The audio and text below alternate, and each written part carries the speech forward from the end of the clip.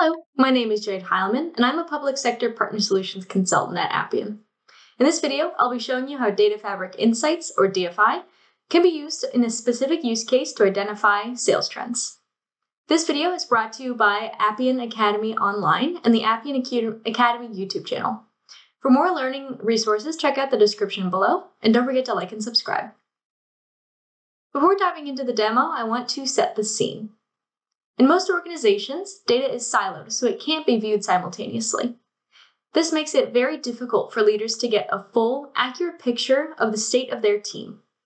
In order to make data driven decisions, much time needs to be invested writing complicated code to join all this data together so it can be analyzed to inform business choices. Traditionally, a business user might put in a request to their Appian developer to create reports and dashboards for data tracking or decision making. These requests get added to the developer's backlog, which means business users have to wait for long periods of time, and developers need to spend precious sprint resources fulfilling these requests. For today's video, I'll be taking on the persona of a sales representative at Acme, a fictional company. Acme already has an Appian environment with several data sources connected to the system for their delivered application. As a sales representative, I need to answer the following question What is the breakdown of our sales each month and which regions perform the best? Not only do I have to answer this question, but I have to answer it by the end of the week, and it's already Wednesday, so I have to answer this on top of all of my other daily activities. And to answer this question, I want to utilize the data we have to, provi- to provide an informed answer. Now, Data Fabric Insights can be used for a variety of use cases. This is just one example that we're going to be seeing today, so I do want to add that highlight. So, as a business sales representative, I want to create this report. So I'm going to log into my Appian environment, go into Process HQ, and I'm going to be starting on the data catalog today. And what we're seeing is the data fabric of this application. This is every table that has been created in my Appian environment that I have access to view. And permissions for Data Fabric Insights are provisioned by developers, and we're going to be taking a look at that at the end of this video. This is helpful for me as a sales, uh, sales representative because now I have visibility of all of my disparate data. So this saves me time from having to look up each individual table and each source. I can see it all together in one's place. Not only can I view all this all this information, I can also search for the table that I'm most interested in diving deeper into. This saves me time from having to, again, log in and search through everything. And what I want to highlight on this um, one individual table here is that we can see not only the name of the table, but we can also see the source that this data is coming from and the source of the related tables. And this just highlights that all of this information is connected together with Appian's data fabric and it can be coming from anywhere. So I'm going to go ahead and click in on this. And when I do, I'm going to be taken to my report builder. And this is where I can click to configure tables and reports. On the left-hand panel here, this is where I can see all of the fields that are in this table. And these field names come from the data model tab of the record type, which is up to developers to maintain so they're understandable for business users. And again, we're going to be taking a look at that at the end of this video. To answer my business question for today, I'm going to be selecting the due date and the total due columns from the sales order table. And I'm also going to be scrolling down to see all of the related tables. And I'm going to be clicking into sales territory. So again, all of this information is coming from disparate sources, but I can navigate through it all from one place here to save me time. Now that I have my data in this grid, I can go ahead and add an action to my report so that as act, this action needs to be taken, when I start reviewing this data, um, I can do so right from this screen. So I'm going to be coming over to the right hand side to the setup tab, clicking on my update sales order, action, and now I can select individual rows and update that sales order. Again, all from one place, all from one report, all from one grid. I don't even have to go to another page in my application. I can just do it right from here. Now that I have all this information in my chart in the center of my screen here, I can go ahead and manipulate these fields so that this chart makes the most sense for me. So I'm going to be dragging the total due column all the way to the right, for example. I can just really start to make this impactful for me. I can also format these values. So when I come to format values on the total due column here,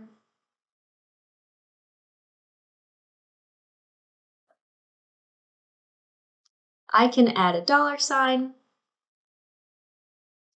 add a comma in the thousands place, and remove all the decimals. And I can go ahead and update that here.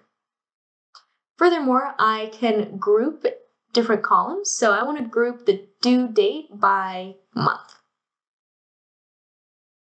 In addition to um, formatting the values, I can also filter right from the screen as well. So I'm going to go over to the right hand side to the setup tab and add a filter. So since I want to see the most important, the most impactful deals, I'm going to go ahead and add a filter that um, filters out all of the total due uh, that is less than $75,000. So I'm going to go ahead and put a filter on my total due column. Make sure that it's greater than or equal to $75,000. And since the year of interest is 2012, I can go ahead and put a filter on the due date column as well. And make sure that it is between January 1st of 2012, first thing in the morning, to December 31st, 2012, last thing at the night. Go ahead and add that. And once I add those filters, I'm going to see my um, the rows of my table be condensed to only those values. Not only can I filter this data, but I can also sort it. So when I add a sort here, and I sort by total due, and I change the sort order here, then I can see the uh, sale that had the most outstanding due date or due amount, and that was six hundred and six thousand dollars in Canada on June in June 2012. Now that I have this uh, chart, I can create uh, graphs directly from this to make this an even more impactful visualization. So with a click of a button, I can see a report be uh, a graph be generated from my data here. And this is again really helpful for me to visualize this information in another way that I can use to really impactfully answer my business questions. Not only can I make simple charts, but I can also, in the case of a bar chart, make them more complex by adding a stacking component. So I can add another um, y-axis here, change this to be due date and sales territory, and again, I can just really get into the details of customizing it so it's as impactful for me to answer my business question as possible. I can also go down here and choose a color scheme to again just make sure that it's exactly what I want. Now that I have my report and it's exactly how I want it and it's super impactful for me and helpful to answer my business question, now I want to understand what insights I can take and what actions I can take next. And this is really just to wow my boss. I can send them this report and answer that question, but what's more impactful than providing next steps and more action that can be taken based on this data? So to do this, I'm going to be leveraging AI. So I'm going to come over to the right hand side of my screen here and go to AI Copilot. And I'm going to ask what are two insights and actions I can take based on this report. This is really helpful to brainstorm some ideas of actions that I can take, and this frees up more time for me as a sales representative to actually take these actions. So, for example, some insights and an action would be to identify practice in the Southwest Territory that could be adopted by other territories. That's fantastic. So not only can I tell my manager um, what regions did the best in 2012, I can also say, from this information, perhaps we should consider doing X, Y, or Z. And now that I have this report, I want to save it to refer back to it later. So I'm going to go ahead and call this sales regions. Go ahead and update this. I'm going to save it. And now that I have this report saved, I'm going to go ahead and close this and return back to the home page of my process, um, process HQ environment. When I come to the home page of Process HQ, this is where I can see all of the reports that I've created or that have been shared with me. And I can see this report that I just created, so I can go ahead and share it with whoever needs it needs to be shared with, or I can go ahead and add it to a dashboard as well. So I have this dashboard here that I've created that is my go-to place as a sales representative, um, just to make sure that I'm hitting my metrics and staying on track. When I click into my dashboard, I can see the KPIs that I'm tracking and all of these reports with all of this other information that helps me in my day to day. I can go ahead and come over to the left hand side here and actually add that report I just created to my dashboard with the click of a button and a drag of my mouse. And now it's on here. So not only am I able to create reports with, uh, with this low code report builder in a matter of seconds, I'm also able to create my dashboards in a similar fashion, again, in a matter of seconds. Now, the last thing that I want to highlight before I switch over to the developer view is an even more quick and impactful way to make reports as a business user. And that is coming back to our data catalog with our guided experience. And much like the name says, this is a guided way that business users can make reports with an even more natural language approach.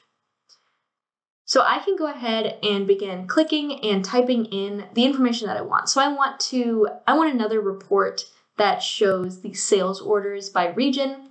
So I'm going to go ahead and do the count of my sales orders.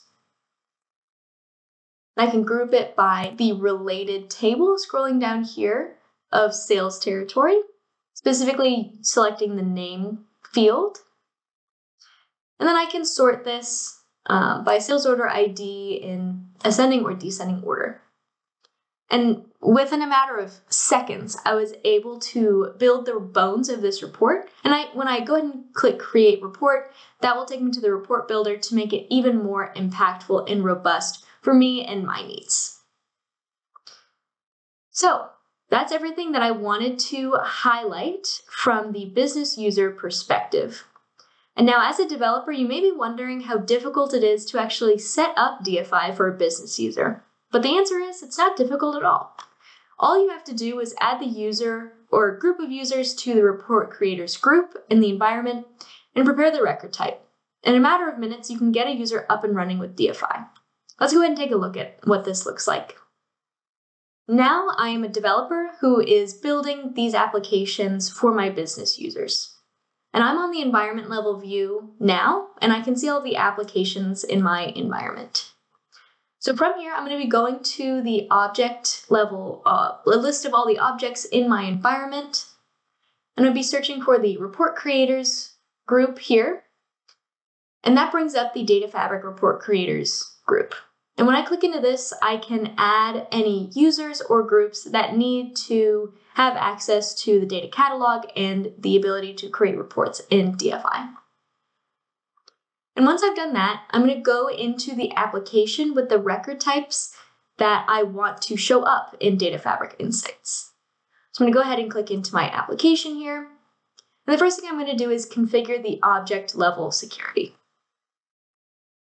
So when I'm doing this, really I just want to make sure that users have at least viewer permission so that they can view those record types in that data catalog in Data Fabric Insights. And once I've configured that, I'm going to go ahead and click into my record type. And from the record type, I'm going to be configuring additional security and cleaning up my data. So from the Data Model tab, we obviously see the fields and the relationships and the relationship names. As a developer, I want to make sure that these fields and names are representative of what they actually do and what they actually mean so that business users can report on them effectively. And once I've done that, I'm going to go into the Workspaces tab and ensure that this is toggled on. And this just allows the record type, again, to be shown as a table in Data Fabric Insights at all. And once that's been done, the last thing I want to do is configure the security at the record and the row level and the action level security. And this is to ensure that business users are reporting on the individual rows and records that they're allowed to see. We don't want, let's say, a sales representative to see another sales representative's data, or much less like the finance uh, finance team's data. So we want to make sure that that is all locked down. But once the um, security has been configured on the record type at the row level, that will propagate to Data Fabric Insights. In the same vein, the actions um, the actions on the record type we want to configure so that the person who is making these reports and should be taking actions is at least an initiator on that record action um, so that they can add that to the report and then take that action. But with that, that's about it. We have now allowed users to take the full advantage of Data Fabric Insights with the proper security measures in place. And it only took a developer a few minutes to set up, which is a huge time savings versus having to build the reports or dashboards for the users. With that, let's go ahead and summarize everything that we saw here today in this demo. Switching hats back to my sales representative, we saw how I was able to now make ad hoc reports to help answer my time sensitive questions with an accessible, low code tool that allows me to build high impact reports. With DFI, I was able to navigate Acme's fragmented data landscape to pull together key information about our sales organization and visualize it, to view trends, measure KPIs, and inform next steps for sales leaders to grow revenue at Acme. I was able to do all of this quickly since I didn't have to join t- data together in SQL, pull it into Excel, or ask a developer to build me uh, a report in the interface designer. Since DFI is low code, I could build these high impact reports and dashboards myself in a matter of minutes. This saved me time so I could meet my deadline and save developers time during their sprint so they could focus on other higher priority tasks. In addition to saving myself and my coworkers time, I was also able to make data driven decisions with confidence and drive revenue faster than ever before. If you want to learn more, go ahead and check out the description for additional resources. But with that, Thank you for watching.